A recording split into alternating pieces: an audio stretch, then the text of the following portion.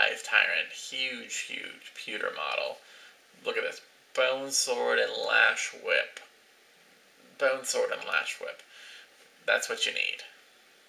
Really a, a, a sweet model.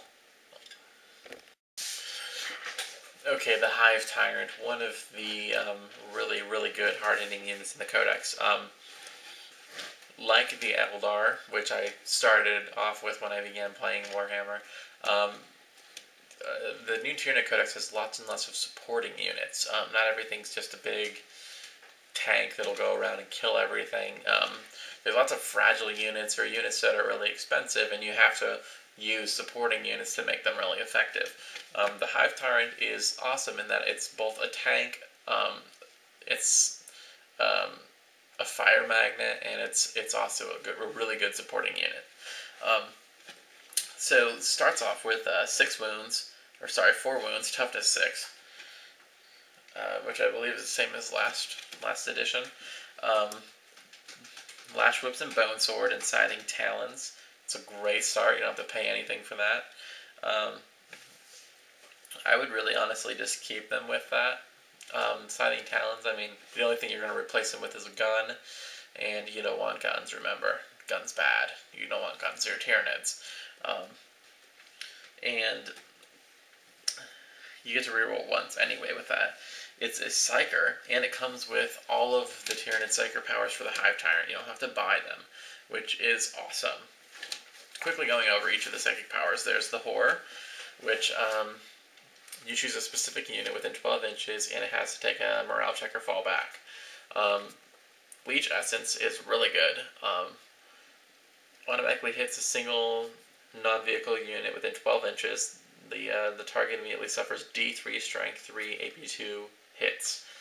Um, Tyrant recovers a single lost wound for each of each wound inflicted using this power up to a starting number of wounds. So if your Hive is getting beaten down a little bit, instead of taking regeneration, just go ahead and hit a weak unit with this. Um, honestly, even against Space Marines, you get D3 hits. Every time or two you use it, you're going to get a wound back at least. Um, and it's free. You come with it, so why not? Uh, it, it's, it's really a, a good ability. Um, then there's a paroxysm. Parox. I cannot pronounce this word. Let me give it one more try. Actually, it's probably gonna take like ten more. Just, just be patient with me. Um,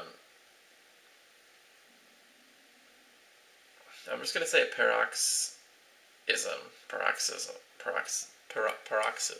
Par, paroxysm. Per, per, paroxysm paroxysm, paroxysm. Who the crap names this shit? Um, shooting attack that hits a single unit within 12 inches.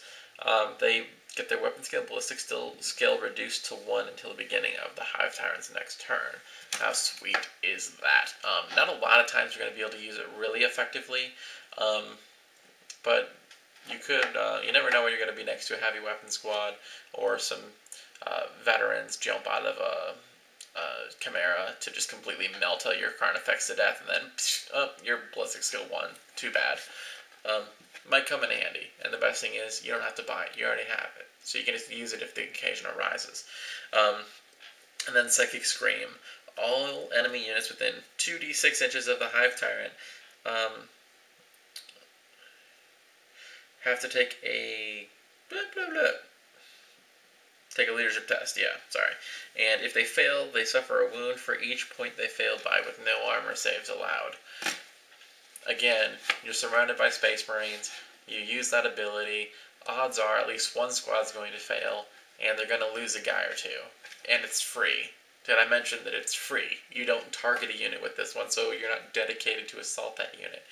Um, it's a good way to soften up a huge mob of guys you're getting ready to charge. So um, that's my long-windedness on the Hive Tyrant psychic powers.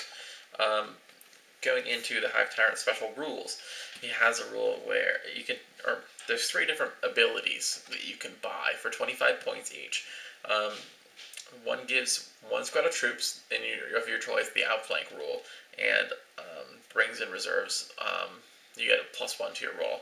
And the best part is that, um, well, you add plus one to your roll. You don't get to choose um, for your reserves. Um, that's Hive Commander. There's Indescribable Horror, um, which is any unit assaulting the Hive Tyrant has to pass a leadership test. Um, if it's if it's passed, they get to assault. If they fail, then they just stand there and they don't assault. Um, uh, then there's a rule old adversary. Um, all Tyranid units within six inches have um, preferred enemy, which is really good. I'll talk about use of that ability with some other things in a future video using combinations of units. Okay, so Hive Tyrant, 170 points. Not cheap, um, but it's certainly worth it. I mean, how many armies can get something with toughness 6 and 4 wounds for 170 points? Um, most armies don't have anything like this, so it's, it's, it's really awesome, I guess is just what it is. You have lots and lots of options here. Um, Twin Link Death Spitter, Devourers, lots of weapons you can choose. Um, Stranglethorn Cannon, Venom, Heavy Venom Cannon. Um, again, those are all really cool, but Scything Talons and Bonesword Lash Whips are cooler. They're more cooler. Um, some of you would say that they're Frieza. Freezer. Um, you can also have ability uh, options for adrenal glands, toxin sacs, acid blood, implant attack, toxic miasma, regeneration. Um, toxin sacs again. No, don't even bother. You're tough. Your strength six. Okay. Um, acid blood. Eh, maybe. It does like some wounds when you get hurt or something weird like that. Um, implant attack does two wounds for when you do one, but it's only on the same model. Just don't bother with this crap. Lots of lots and lots of upgrades are really cool, but that are not effective for their points. Um, regeneration again, wouldn't bother with it. Um, the only things from these lists I would consider is um, adrenal glands, though you don't really need them um, since you're initiative five, and re uh, toxic miasma. Toxic Miasma is a really cool ability that not nearly enough units have in the new codex. Um, at the end of each player's turn, every non-vehicle enemy in base contact with the Tyranid with Toxic Miasma must pass a toughness test or suffer a wound. Um, I mean, it's just an extra little punch to the gut.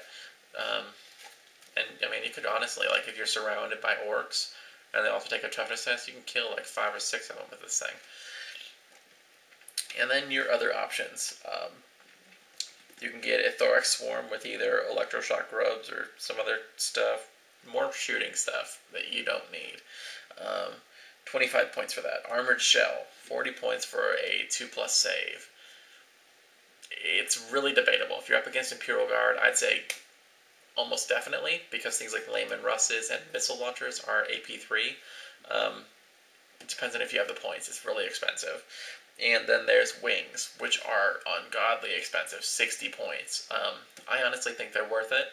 Um, you can kind of keep the Hive Tyrant with your other units and then jump forward and strike a unit really hard, and then the rest of them can catch up the following turn. Um, I really think it's worth it. And then you have the Tyrant Guard, 60 points of pop. They're definitely not cheap either.